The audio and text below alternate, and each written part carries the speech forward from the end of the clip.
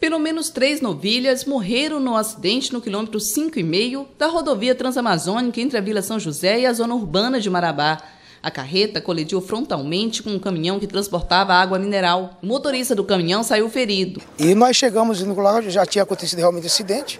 É, segundo as informações, é, a, carreta vinha da Santa Fé. Só, só, só para nós controlar a, o, o, trânsito até a, a polícia PRF chegar no local.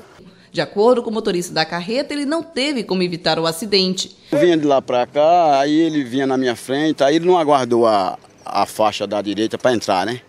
Aí ele entrou de vez. No momento que eu vinha estar passando ele, ele entrou de uma vez. Não deu tempo. Não deu tempo. Buzinei, freiei, quase virava ali. Aí ele entrou de uma vez. Não senti nada não, nem eu nem ele, né? Graças a Deus. Bem materiais, isso aí se arruma, né?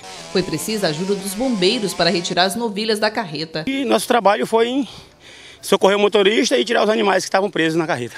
A Polícia Rodoviária Federal interditou parcialmente a rodovia, enquanto os animais e os veículos eram retirados da pista.